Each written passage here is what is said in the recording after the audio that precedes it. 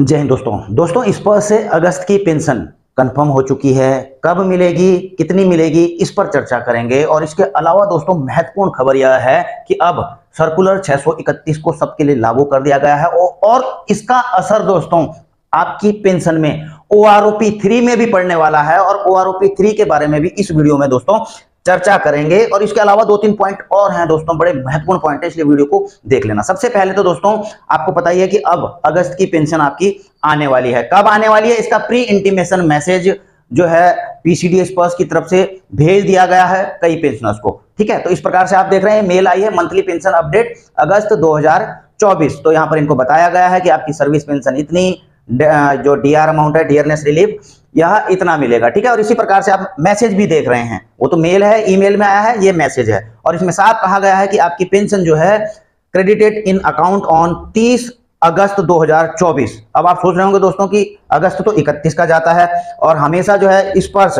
अंतिम तिथि को डालता है। तो दोस्तों, ऐसा नहीं है, मैं आपको यह बता दूँ।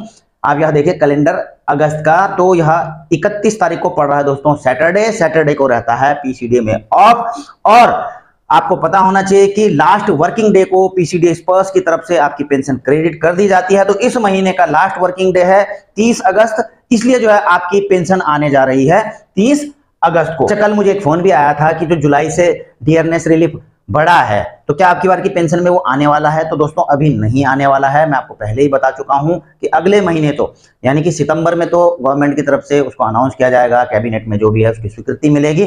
तो अगले महीने भी कोई चांस नहीं है, लेकिन अक्टूबर में ज़रूर जो है डी आपके पेंशन में जुड़ करके आ जाएगा। और एक अच्छी खबर है दोस्तों, तेरह अगस्त की। यह डाला है दोस्तों कैंटीन सेल क्यू ब्रांच ने केयर ऑफ़ क्यूएमजी ब्रांच ने। Issue of store to disabled dependents जी हाँ दोस्तों, आपको पता है कि कई डिपेंडेंट्स ऐसे रहते हैं जो डिसेबल्ड रहते हैं, लेकिन कैंटीन से वो जो है ग्रोसरी आइटम या लिक्कर जो उनको लागू है, वो वहाँ से लेते रहते हैं। लेकिन डिसेबल होने के कारण, बीमार होने के कारण, ये ही नहीं दोस्तों, जो बुज़ुर्ग हैं, वो भी बीमार होने के कारण या फिर जो है बुज़ुर्ग होने के कारण वो सीएसडी से खुद नहीं जा सकते हैं सामान लेने के लिए। तो एक अच्छा इनिशिएटिव यहाँ पर आप देख सकते हैं कि point permit dependent of old and sick beneficiary to purchase grocery item only जी हाँ दोस्तों, इसकी अथॉरिटी बनेगी, ठीक है ना?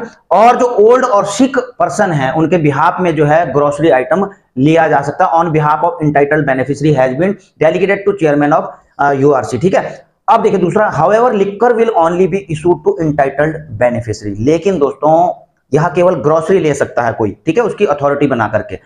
लेकिन लिखकर नहीं ले सकते। लिखकर लेने के लिए जो बेनिफिशियरी हैं प्राइमरी बेनिफिशियरी जिनके नाम पे कार्ड है तो वही जाएँगे, तभी जाकर के जो है लिक्कर मिलेगी, दारू मिलेगी। यानी कि दवा और दारू एक साथ नहीं चलेगी दोस्तों, या तो दवा ही चलेगी, या तो दारू ही चलेगी। आप इस चीज़ को समझ रहे होंगे। तो certificate for issue of grocery store to sibling of sick old age beneficiary is attach here with यानी कि दोस्तों, इसकी जो अथॉरिटी बनेगी सर्टिफिकेट बनेगा, जो डिपेंडेंट हैं सिक हैं, बीमार हैं डिसेबल्ड हैं, या फिर कोई बुज़ुर्ग हैं, ठीक है? उनके भाई बहन या उनके बेटे बेटी जो उनके डिपेंडेंट्स हैं तो वो इस प्रकार की अथॉरिटी वहाँ पर से बना सकते हैं और ग्रोसरी आइटम ले सकते हैं, ठीक है ना? अगली बात है दोस्तों, आप देख रहे हैं 19 जुलाई का यह है, और दोस्तों यह है खुशखबरी, यह भी खुशखबरी है दोस्तों 19 जुलाई का निकाला है इंटीग्रेटेड हेडक्वार्टर यानी कि आर्मी हेडक्वार्टर की तरफ़ से waiver for annual validation for 64 KV ECHS card holder above 80 साल एंड एज यानी कि दोस्तों, अगर आपकी उम्र, आपके डिपेंडेंट आपके जैसे माता पिता होते हैं ईसीएचएस में आपके डिपेंडेंट रहते हैं, उनके कार्ड रहते हैं, और आपको पता है हर साल एनुअल वैलिडेशन करना पड़ता है, चाहे वो माता पिता हो चाहे वो भाई बहन हो, चाहे बेटा बेटी हो तो उनका एनुअल वैलिडेशन आपको पता ऑनलाइन करना पड़ता है ईसीएचएस में तो उनके कार्ड चलते रहते हैं। लेकिन अब क्या हुआ है दोस्तों कि जो 80 साल से ऊपर हैं 80 साल या 80 साल से ऊपर तो उनका उनका एनुअल वैलिडेशन करने की ज़रूरत ही नहीं है। जी हाँ दोस्तों, अब उनका एनुअल वैलिडेशन नहीं करना है। It is intimate that all ECHS benefit who have been provided with 64 KB ECHS smart card and are above 80 years of age will exempted for annual validation with immediate effect from the date of issue of this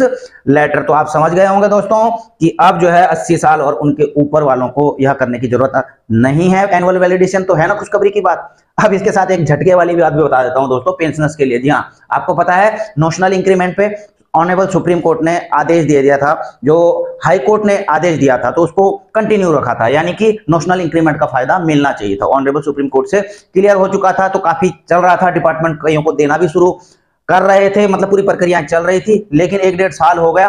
अब क्या हुआ दोस्तों? मामला जो है, गड़बड़ा गया है। गड़बड़ाने का मतलब यह है, वैसे तो संवैधानिक प्रक्रिया है, लेकिन डीओपीटी ने जो पेंशन मंत्रालय है उसने जो है रिव्यू पिटीशन डाल दी है ऑनेबल सुप्रीम कोर्ट में नोशनल इंक्रीमेंट के जजमेंट को लेकर के कि आप जो है इस जजमेंट पर दोबारा से रिव्यू कीजिए और फाइनल आदेश दीजिए। तो कहीं ना कहीं दोस्तों, ये इस मामले में थोड़ा सा ठंडास हो गई हालाँकि फिर से दोबारा रिव्यू पिटीशन होगा ऑनेबल सुप्रीम कोर्ट भले ही जो है पेंशनर्स के फेवर में दे, लेकिन कम से कम इस मुद्दे को कुछ समय के लिए टाल ज़रूर दिया गया है दोस्तों, और लंबा खींच दिया गया है। तो ये गुड नहीं है, पेंशनर्स के लिए कहीं ना कहीं झटका ज़रूर है। और अगला है दोस्तों, आप देख रहे हैं 22 अगस्त का Government of India Ministry of Defence Department of एक्समेंट welfare ने अपनी ही वेबसाइट पर इसको अपलोड कर दिया है। और ये, इसी का, ये बहुत महत्वपूर्ण है देखिए दोस्तों revision of pension of pre एक जनवरी 2006 retiree havildar granted honorary rank of Naib Subedar. जी हाँ दोस्तों ये बड़ा महत्वपूर्ण है। 22 अगस्त का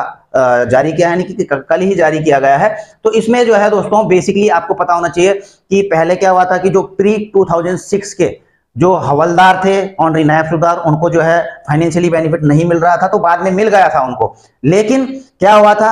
अब उनको तो वहाँ पर भी मिल गया था और उसके अलावा जो है ओ में उसका, उसका फ़ायदा हुआ। लेकिन जो फैमिली पेंशनर्स थे जो फैमिली पेंशनर्स थे, उनके हस्बैंड ऑनरी नायब सुबेदार आए थे, लेकिन उनको नहीं मिल रहा था। उनको हवलदार की ही पेंशन मिल रही थी और ओआरओपी में भी रिवाइज वही हुई थी। लेकिन अब आदेश यहाँ निकल चुका है। ये फैमिली पेंशनर्स के लिए खुशखबरी है दोस्तों। In this regard it is clarified that the provision of MOD letter dated 21 February 2020 will also apply to family pensioners of retiree havildar who were granted honorary rank of नायब सूबेदार। यानी कि जिन हवलदार जिन हवलदारों ने जो प्री 2006 के हैं, जिनको ऑनरी नायब सुधार मिला है तो उनकी फैमिली पेंशनर्स को भी जो है एक जनवरी 2006 से पहले वालों को, उनको भी इसका फ़ायदा दिया जाएगा। जी हाँ दोस्तों, उनको इसका फ़ायदा दिया जाएगा। तो कहीं ना कहीं इनको जो है रिवीजन होगा, इनका ओआरओपी का एरियर भी आएगा। ओआरओपी का क्या जब से रिवीजन हुआ है, एक एक जनवरी 2006 से, वो एरियर भी आएगा। ओआरओपी वन, टू में जो फ़ायदा हो रहा वो भी मिलेगा। एरियर आएगा, उसका ओआरओपी थ्री में भी इसको देखने को मिलेगा, आपको जो ये नई वाली चार्ट है तो उसमें भी इसको, इसका फ़ायदा इनको देखने को मिला। और ये बेसिकली दोस्तों सर्कुलर नंबर 631 से संबंध रखता है। सर्कुलर नंबर 631 ये है, आप इसको देख सकते हैं, ठीक है ना? तो इसी को जो है फैमिली पेंशनर्स पर भी जो है एप्लीकेबल कर दिया गया है। और वन रैंक वन पेंशन की जहाँ तक बात है दोस्तों, कई सोशल मीडिया में भी अभी निकल करके आ रहा है कि ऑलमोस्ट जो है ओ की टेबल्स तैयार कर दी गई हैं और हो सकता है कि इसी महीने के अंत तक ये टेबल बाहर निकल जाएँ सीजीडीए के द्वारा प्रचारित, प्रसारित कर दी जाएँ। ठीक है ना? और सितंबर में जो है सितंबर में कही जा रही है बात कि इसका भुगतान पूर्ण रूप से हो जाएगा। ऐसा सोशल मीडिया में चल रहा है। और दोस्तों, मैं अपनी बात कहूँ, क्योंकि मुझसे भी कई पूछ रहे थे लगातार ओ आर थ्री पे भी कुछ बताइए। देखिए, मैंने काफ़ी दिनों से कुछ बोला नहीं ओ आर थ्री पे, लेकिन मैं अपने जो पिछले जो तीन महीने पहले मैंने वीडियो बनाई थी, उसी पर आज भी कायम हूँ कि आपका जो ओ आर है, वो सितंबर से लेकर के दिसंबर के बीच में, इन तीन महीने को बीच में आपको मिल जाना चाहिए। ठीक है ना? तो वो सितंबर में भी मिल सकता है, अक्टूबर, नवंबर, दिसंबर, इन तीन चार महीनों के बीच में आपको मिल जाना चाहिए। मैं इसी पर कायम हूँ। बाकी इतना ज़रूर कह सकता हूँ दोस्तों कि जल्द ही इसकी टेबल आ जाएगी। अब ऐसा कंफर्म नहीं है, कोई डेट की जो है बीस तारीख, पच्चीस तारीख को आ जाएगी, तीस तारीख को आ जाएगी, ऐसा कंफर्म नहीं है। लेकिन ऑलमोस्ट इस पर काफ़ी काम चल रहा है। सीजीडी का इस चीज़ को हमको खबर है। लेकिन कब तक जारी कर देगी? उनकी तरफ़ से यह कहा गया है कि हम जो है जल्दी जारी करेंगे। इस पर काम पूरा हो जाता है तो उसको जारी करेंगे। तो कहीं ना कहीं हो सकता है इस महीने के जो खबर निकल करके आ रही हो सकता है कि इस महीने के अंत से पहले पहले यह आ भी जाए।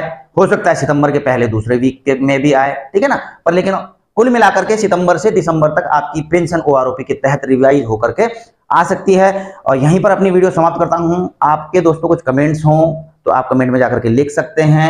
वीडियो अगर आपको अच्छी लगती हो तो वीडियो को लाइक ज़रूर कर दिया करें, शेयर ज़रूर कर दिया करें और चैनल में अगर नए हैं तो चैनल को सब्सक्राइब ज़रूर कर देना दोस्तों। इसी के साथ अपनी वीडियो यहीं पर समाप्त करता हूँ। जल्द मिलेंगे नई वीडियो में नई जानकारी के साथ। जय हिंद, वंदे मातरम।